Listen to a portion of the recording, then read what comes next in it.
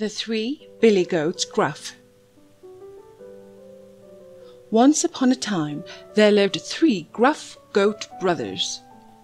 Their names were Little Billy, Middy Billy, and Big Billy. While enjoying a breakfast of fresh grass, Big Billy looked across the valley and saw a beautiful meadow of grass that looked sweet and tasty. Come, brothers, let's get some sweet grass this morning, said Big Billy.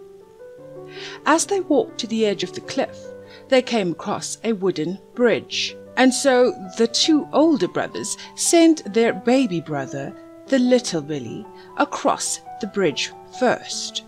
The poor goats, however, were unaware that beneath the bridge lived a grumpy old troll.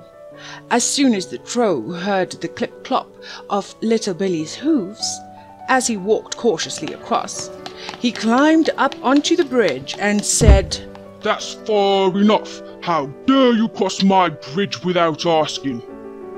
I'm very sorry, whimpered the little goat.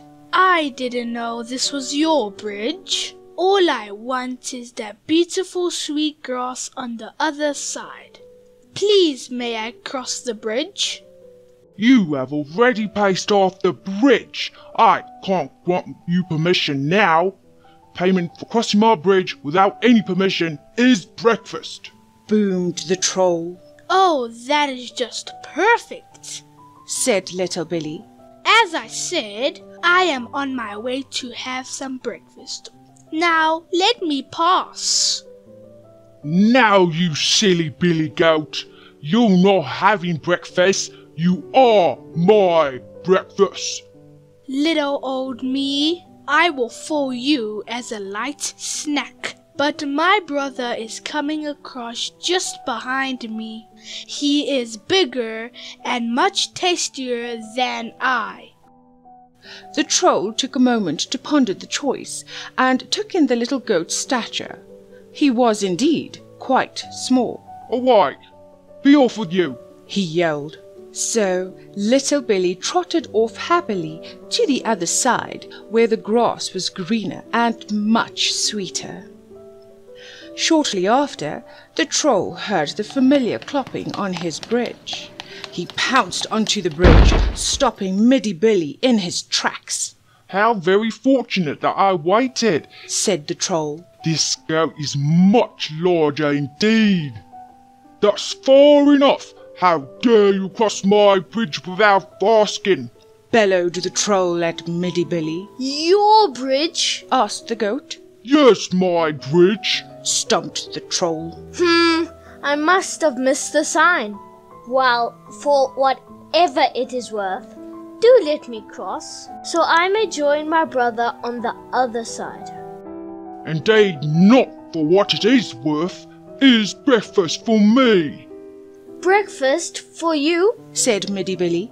Well, I had no idea that trolls enjoy grass as much as us goats. But seeing that is what it is worth to cross this bridge, do feel free to join us.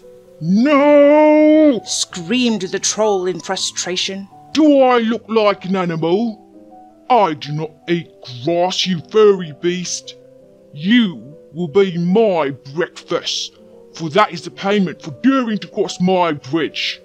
Oh dear, that won't do, said Middy Billy. It will do well enough, shouted the troll. Now come here.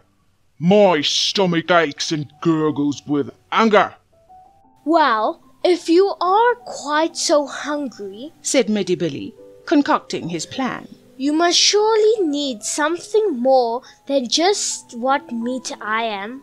Though I look larger than my little brother, I can assure you that my older brother, who is not far behind me, will most certainly be what you see if you are truly to suffet your hunger.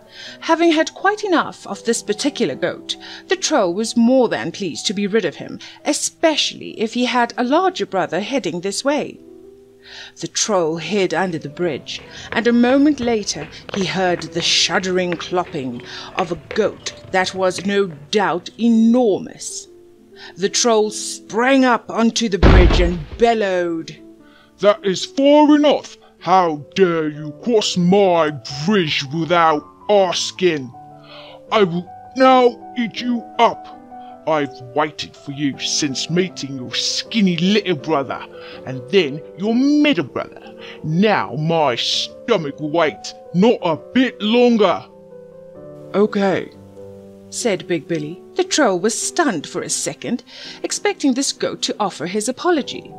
But satisfied he saw no way of escape, the troll stepped forward toward the large goat.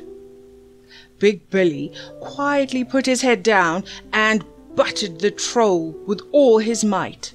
The troll, weak from hunger and stunned with shock, flew into the river below with a huge splash. Big Billy joined his brothers and feasted on the sweetest grass he could imagine. From that day on, the dear billy goats Gruff came to the valley whenever they wanted and lived happily ever after.